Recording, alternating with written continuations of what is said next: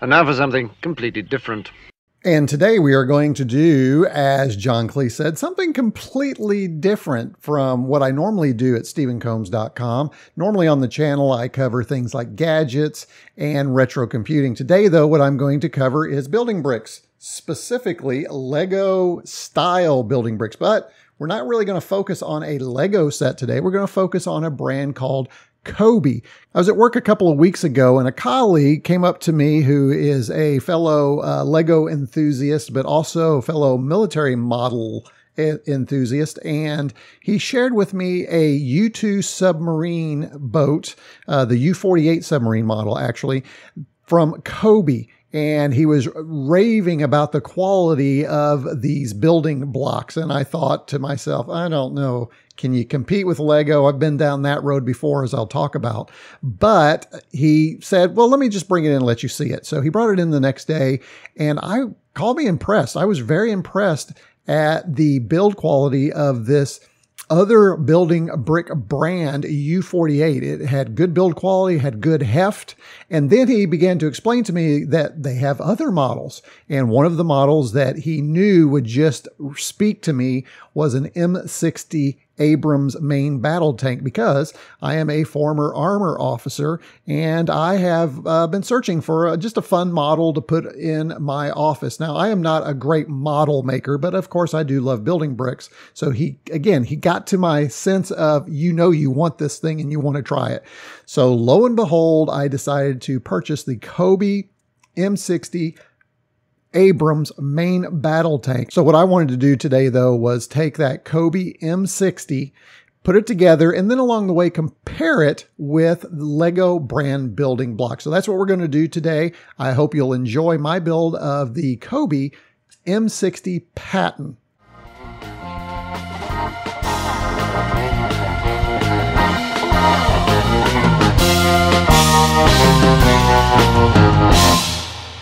Thank you.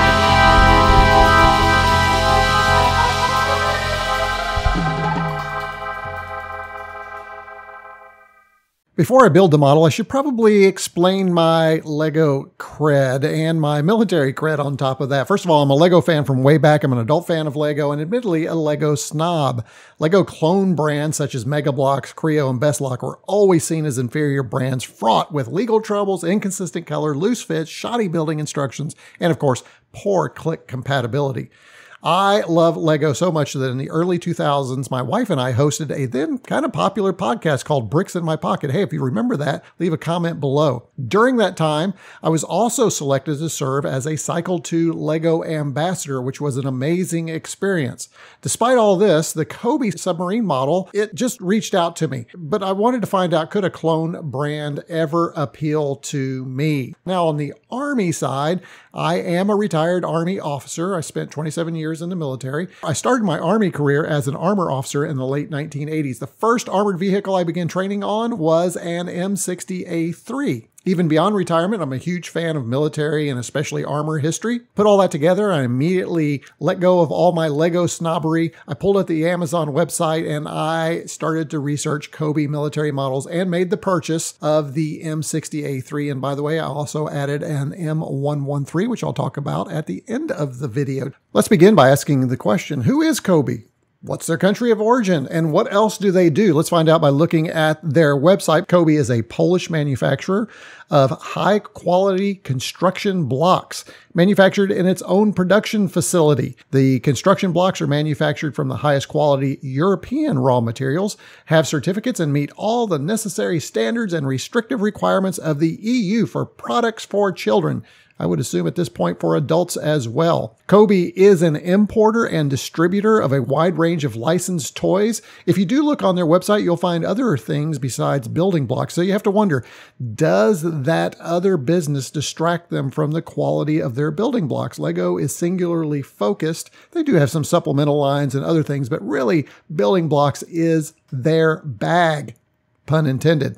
Can the same be said for COBI? Let's find out. All right, before we build the model, what I want to do first is take a look at the packaging. The box itself, the cardboard thickness is on par with Lego. The artwork is colorful and the graphics are polished and really do kind of grab the eye. The front of the box places the M60 model in a simulated battle environment. That's a really nice touch. The piece count for this model is 605 elements and you get two figurines, action figures in Lego parlance minifigs. You get an American officer and an American soldier. There's no stickers, which is a huge win for me. I cannot stand when Lego or any building block manufacturer includes stickers. Just ask my wife. She's heard me rant about stickers in Lego models for years. It always seems like a cheap out to me instead of being pad printed as COBI highlights on their box. We even get technical information for not only the M60, but also the included M16. This is the only place you'll find this information. Unfortunately, COBI doesn't include any additional details in the building instructions. That would have been a nice touch. If you scan this QR code found on the box with your phone camera, it takes you not to the COBI main page, but actually directly to the COBI model page.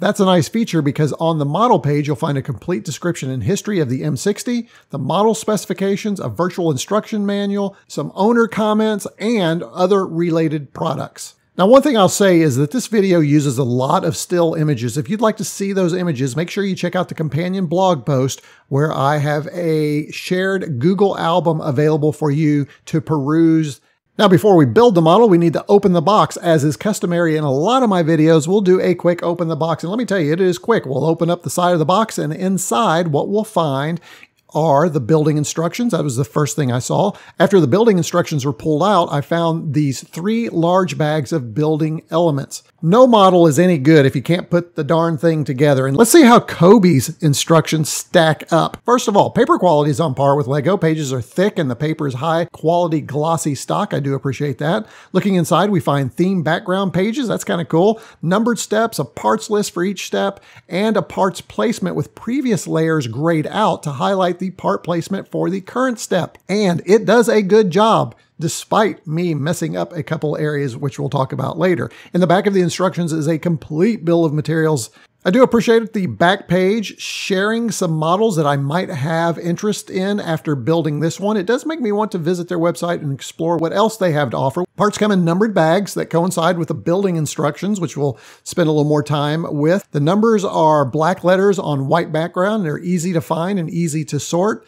Instead of the crinkly kind of plastic used by Lego in the larger bags, they're more consistent with plastic used in Ziploc baggies, albeit maybe a little bit thinner polymer. The smaller bags inside are more consistent with Lego bags and are almost identical in quality, sound, and appearance. Lego will soon ship bricks in environmentally friendly paper bags. It'll be interesting to see if other brands such as COBI follow the industry leader. All right, enough opening the box and looking at what's inside. Let's build this thing. It's time for construction. And I admittedly was really excited to dive in. And here's what I found while building the M60 Patton. Very first thing, take a long look at that upper left hand corner of that first page. COBI probably learned lessons from past models and included a handy notice the difference warning that I failed to notice and observe, and therefore did in fact miss the difference between those parts A, B, and C. Because of this, I had a gotcha that later required me to tear the model down several layers. Read the instructions, Steven. That's always a good thing. All right, next I want to compare the COBI bricks to the Lego bricks before we start this significant build. Look at the plate. I immediately noticed the COBI name on, on the top of each stud, which is eerily reminiscent of the Lego brand in font.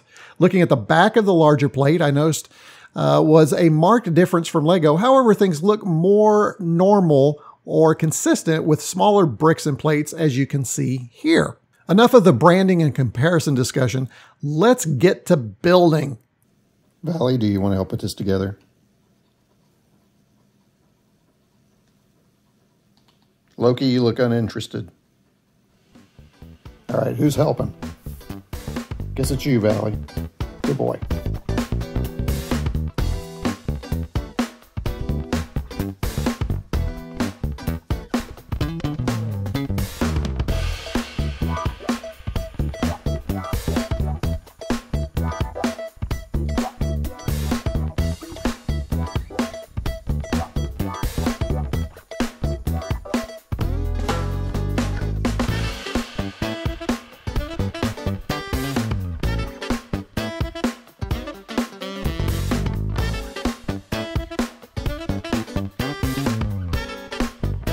You know, as I was building, I noticed an interesting variety of building elements. There are many familiar element shapes, but there were new ones I'd not seen in LEGO kits, and I've built a bunch of them, and I'm sure I say this, and immediately LEGO fans out there are going to tell me you can find this part in this set and give me the number off the top of their head. People are that serious about LEGO. However, these are ones that I had not experienced in my building. First of all, what I found interesting was the odd number links of plates and bricks in the COBI set. While Lego normally includes even number elements like 2x2 bricks or plates, 2x4s, and 2x6s, this model had many like 2x5s and 2x7 odd numbered elements. I was also a fan of these 1x3 elements that provide a flat surface on the bottoms of plates and bricks. COBI includes what appears to be many custom parts for this and possibly several of their other track vehicles. Let's talk action figures, or in LEGO parlance, minifigs. COBI minifigs are more anatomically correct, if I can say that, but they are a little closer to what real human proportions are. This set includes an American soldier and an American officer. I will say I love the armored cavalry hat and the sunglasses on the officer and the helmet and vest on the soldier. Those are really nice touches.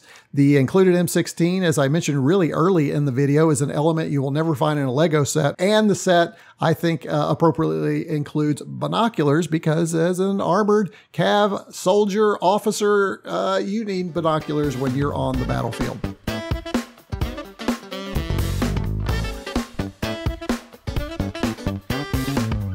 Okay, I was interested in COBI quality control. Do COBI bricks actually measure up to Lego bricks? So, one of the non scientific ways I decided to try and check this out was to measure parts. So, I measured the weight of a brick and a plate. I was pleased to find that they are almost identical for like parts. There's a very small difference between them. Next, I made a quick parts fit comparison between COBI and Lego elements. The fit was tight and the click was satisfying. As far as fit and weight goes, you'd be hard pressed to tell the difference between the two other than the name on the stud. In hindsight, I should have compared fit clearance. However, that would have taken time away from building, would require some additional tools. Uh, let me just say that fit and clearance feels to be similar to Lego. Uh, somebody else can do the scientific testing there. However, there was an issue with the COBI elements that hindered the final product appearance. The runner or the sprue cutoffs, where the plastic runs through the mold down to the actual part, where they have what we call cutoffs, they're visible on the model after assembly. It, so what's happened is they've placed the runners or the sprues connections on the part that can be seen on the exterior of the model. You don't see these on the box. They've probably been digitally removed. However, they are very noticeable all over my model. Here's another QC issue on a plate. I've never seen a Lego brick pass through QC that had studs that look like this. What happened here? While my weight exercise revealed similar results, as you can see, this part could tell a different manufacturing story. On this element, there appears to be a thin top layer that lets the form of the inside of the brick bleed through if the light hits the element just right. Here's an element where an engineer made the very unfortunate decision to locate the sprue right on top of a stud. Thankfully, this part is embedded within the model and not seen after the build. But you know, if you want to use this for your own builds on a top layer or a studs not on top build, then this would be annoying. Earlier, I mentioned my disdain for stickers. I love that COBI stamps all of their elements. I'll say it again. I've said it once. I'll say it a thousand times. I can't stand stickers. One part of the build that concerned me prior to putting it together was the tracks. Would they be realistic? Would they work? I'm happy to report that the construction operation of the tracks is excellent. The tracks have a center guide. That's a real thing, by the way. As you can see in this image, I have a center guide I keep in my office. They have good fit across the rollers and it even sounds good when you push the model across the table.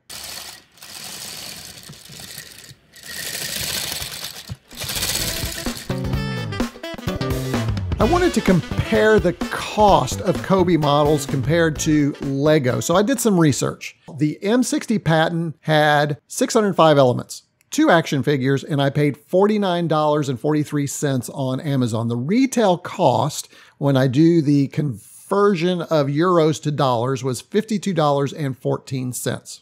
I tried to find a similar model with the same or lower number of pieces, similar build difficulty, and include minifigs from LEGO. Something with a military theme. So again, I go back to the closest LEGO theme is the Star Wars line. The closest LEGO model I could find to meet my criteria was the Y-Wing Starfighter. It had 578 pieces, four action figures, a couple more action figures, and a cost of $55.99, but with a retail of $69.99 or $70. Now we have to remember that LEGO has to pay Star Wars some branding fees for their models. However, if we look at Amazon, the price is about $5 more for 27 fewer pieces for the Lego model, but you get two additional minifigs. Now that's at Amazon pricing. If we just go pure retail pricing, the story is a little bit different. $52 for COBI versus $70 for Lego. That's about a roughly 20% increase for the Lego set for less elements. Okay, there's my build of the COBI M60 Patton. Hopefully you enjoyed that little journey as I put that together and uh, kind of compared it with the Lego brand. But really, probably what some folks want to know is what's my recommendation? Would I purchase COBI branded building blocks in the future. Let me go through my little list I have over here. First of all, it was fun, but at times it was challenging. I did, uh, as I said, have to remove some bricks and go back down a few layers because I didn't pay attention, but it is a good model. It's a fun model to put together. I would not recommend it for small children, not because of the content of whether uh, children should be exposed to you know, main battle tanks at an early age. You have to decide that as a family. But um, just because of the small, intricate parts, you want to be very careful with that. And it can become confusing with the building instructions. The model is an accurate recreation of the M60. I know I've spent many an hour on an M60 and it has enough details and touches that really make it a fun model for any military modeler. Even if you're not into building bricks, but you're into military models, I think you will enjoy putting this together and having this on your desk. The proportions feel correct. Uh, I love that the main gun moves up and down. The turrets move, both of them, the cupola and the turret move independently, which is nice. There's some extra detail on the bustle rack, which I think is nice. And then I also like that the driver's hatch opens up and turns. Uh, I think just having that little extra touch is nice because it, it actually operates the way a real driver's hatch was, which is up, out, and down. I love the tracks. We talked about the tracks in the video. Uh, they feel good. They look good. Uh, they operate well, and they even sound good when you roll it across the desk. It has like a mini tank sound, track sound which is uh, very distinctive if you've ever been around a tank. You know what I'm talking about. The inclusion of the ammo box was a nice little touch along with the action figures. I do wish the ammo box, though, had included some ammo. That would have been nice. Basically, what I've done is I've just taken the two extra track pieces and thrown them in the ammo box. Listen, if you can get over the sprue errors, that little those little white specks all over the exterior. I really think this is a good model. That is the one thing though that just drives me nuts, and it's something you would never find in Lego. The other thing it's kind of missing is this ability to take your action figures and put them in the model. That would be cool. Uh, I'd love to put the American soldier and the armored officer in the tank, but you can't do that. It's not designed for that.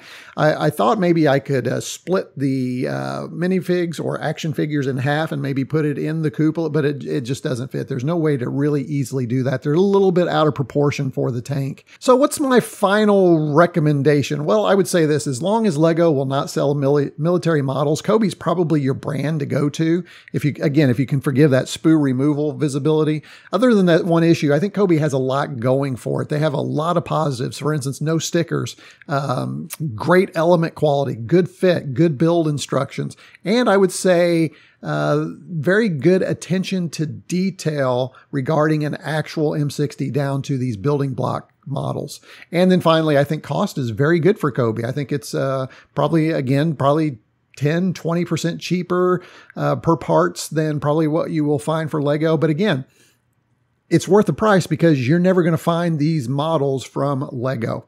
Will I buy more COBI models? Uh, I already have. Uh, I, I, did purchase the M113 armored personnel carrier. I can't wait to put that together. By the way, if you're interested in that build, let me know. Drop some comments below. Drop some comments at the companion blog post. Those all those links will be down below that you need for that. Oh, and by the way, all the links for all the models uh, that I've discussed today will also be in the companion blog post. Again, you'll find that link down below in the video description. So go down there and hit that and check that out. I will probably per- pick up the M1A2. There is an M1A2 main battle tank available too. That one, if I pick that up, that will kind of complete my whole armored career in the United States Army and have all three of those armored vehicles that I had experience with on my desk at work would just be nice uh, kind of conversation piece. That concludes my build of the M60 Abrams main battle tank. Again, a little bit something different on the channel today. So at this time, I have nothing left to say but Retro Combs out.